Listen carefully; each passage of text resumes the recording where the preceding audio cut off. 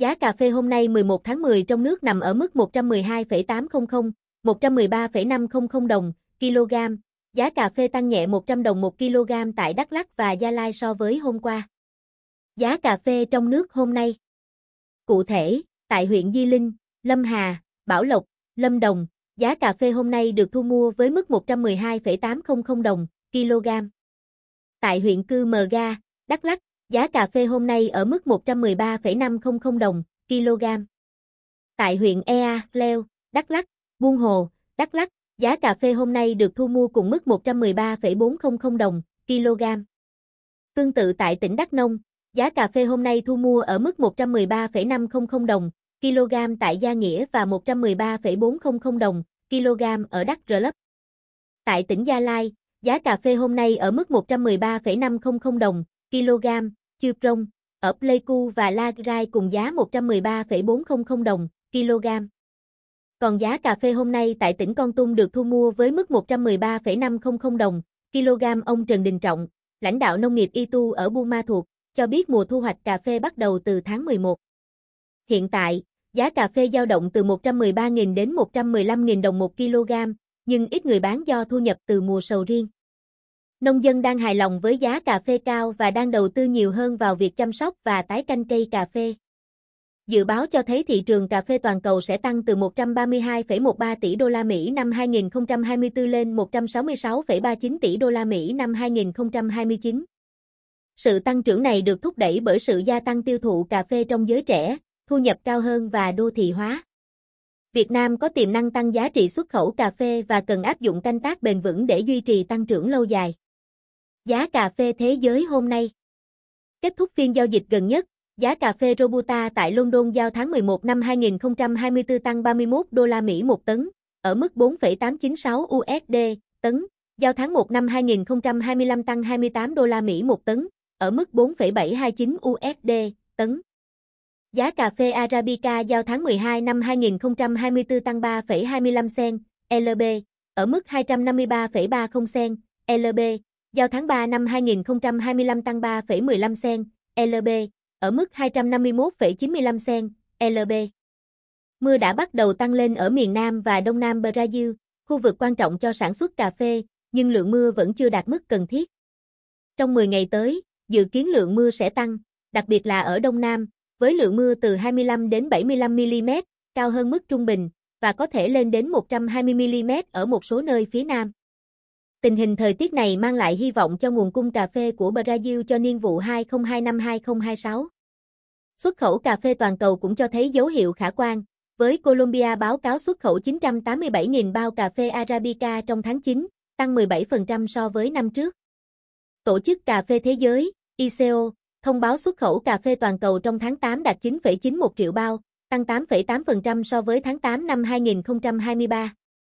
Tính đến hết tháng 8 năm 2024, xuất khẩu cà phê từ đầu niên vụ 2023-2024 đã đạt 113,8 triệu bao, tăng 10,5% so với niên vụ trước.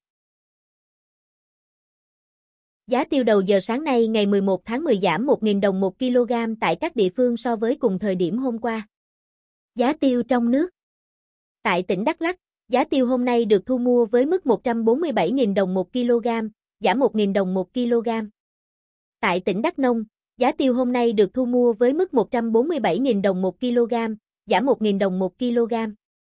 Tại tỉnh Gia Lai, giá tiêu hôm nay ở mức 146.000 đồng 1 kg. Trong khi đó tại Đồng Nai, giá tiêu hôm nay ở mức 146.000 đồng 1 kg. Tại tỉnh Bà Rịa, Vũng Tàu giá tiêu hôm nay ở mức 146.500 đồng 1 kg, giảm 1.000 đồng 1 kg. Còn tại tỉnh Bình Phước giá tiêu hôm nay được thu mua với mức 145.000 đồng 1 kg, giảm 1.000 đồng 1 kg. Ông Phan Minh Thông, Chủ tịch Phúc Sinh Group đánh giá, giá tiêu tại Việt Nam đã có đợt tăng mạnh từ năm 2010 đến đỉnh điểm là năm 2015. Lúc đó, hạt tiêu trở thành ngành tỷ USD và khi giá chạm mốc 230 triệu đồng một tấn, năm 2015. So sánh, giá vàng giai đoạn này khoảng 35 triệu đồng một lượng và giá USD là 21.350 đồng trên 1 đô la Mỹ, 230 triệu đồng trên một tấn tiêu tương đương với 6,5 cây vàng hay 10.700 đô la Mỹ. Đây cũng chính là cội nguồn cho ví von tiêu chính là sản phẩm y vàng đen kia lúc bấy giờ. so với giá tiêu hiện tại trong nước và giá vàng là 83 triệu đồng một lượng, giá USD là 25.500 đồng một đô la Mỹ, thì gần như rất ít người bán tiêu ra thị trường, ông Thông nhận định. Theo vị này, giá tiêu có thể tiếp tục tăng nữa, và người nông dân có quyền mơ về giấc mơ vàng đen thì còn gian dở xong cũng cần nhớ bài trong quá khứ. Về dài hạn, giá hạt tiêu xuất khẩu sẽ vẫn được hỗ trợ, bởi sản lượng mặt hàng này của Việt Nam trong vụ mùa 2025. Vụ hạt tiêu năm 2025 ở nước ta sẽ thu hoạch gần như toàn bộ vào tháng 2, một số vùng kéo dài đến tháng 3 và tháng 4, chậm hơn 1-2 tháng so với những năm trước do ảnh hưởng của hạn hán kéo dài. Thông tin từ Hiệp hội Hồ tiêu và Cây gia vị Việt Nam, VPSA, lượng hạt tiêu trong dân gần như không còn, chỉ còn ở trong các đại lý và kho của doanh nghiệp. Dự báo trong 3 năm năm tới, sản lượng hạt tiêu toàn cầu vẫn không đủ để đáp ứng nhu cầu tiêu dùng. Các chuyên gia nông nghiệp cũng đồng tình hạt tiêu đã bước vào chu kỳ tăng giá mới. Chu kỳ này sẽ kéo dài 10-15 năm. Giá tiêu thế giới Kết thúc phiên giao dịch gần nhất, cộng đồng hồ tiêu quốc tế, IPC, niêm yết giá tiêu đen Lampung, Indonesia, chốt tại 6.711 đô la Mỹ một tấn, giảm 0,33%. Giá tiêu đen Brazil ASTA 570 ở mức 6.750 đô la Mỹ một tấn. Giá tiêu đen Kuching, Malaysia, ASTA mức 8.800 đô la Mỹ một tấn. Giá tiêu trắng mung tốc 8.974 đô la Mỹ một tấn, giảm 0,32%. Giá tiêu trắng Malaysia STA ở mức 11.200 đô la Mỹ một tấn. Giá tiêu đen Việt Nam giao dịch ở 6.500 đô la Mỹ một tấn với loại 500 g 1L, loại 550 g 1L mức 6.800 đô la Mỹ một tấn, giá tiêu trắng ở mức 9.850 đô la Mỹ một tấn. IPC đã điều chỉnh giảm đồng loạt 300 đô la Mỹ một tấn với giá tiêu đen và tiêu trắng xuất khẩu của Việt Nam.